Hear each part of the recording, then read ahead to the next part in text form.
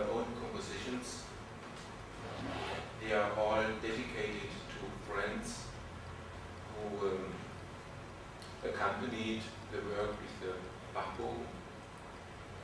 The first piece, Souvenir to Paganini, is dedicated to Renate Hoffleit, a German artist and sculptress who has documented the work with Bachbogen since many years and also meetings with musicians, especially with Rostropovich.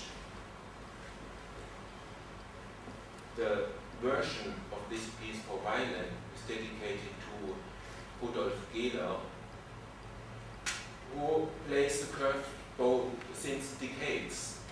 He learned it from his teacher in Germany, Rolf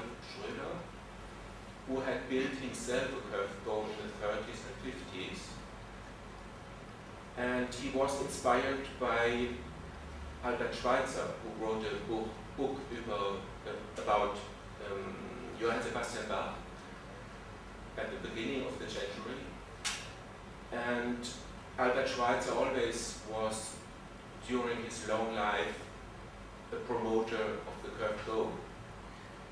Not only for the pieces of Johann Sebastian Bach, but also for contemporary music. The piece itself, Souvenir de Paganini, is based on a sketch which Niccolo Paganini gave to Clara Wieck, the later wife of Robert Schumann. She was at that time 11 years old. And it's a sketch um, for piano. It consists of chords which are used for this piece.